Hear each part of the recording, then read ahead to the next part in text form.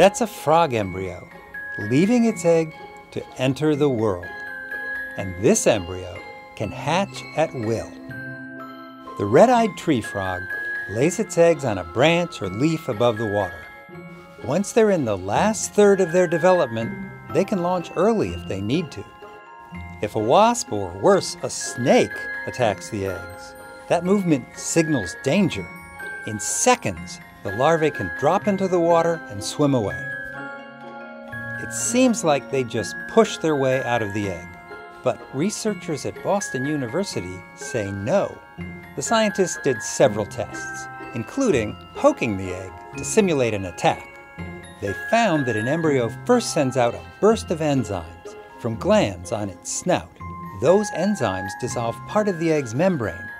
Then the embryo wriggles its way out and escapes from the snake. It's a good defense.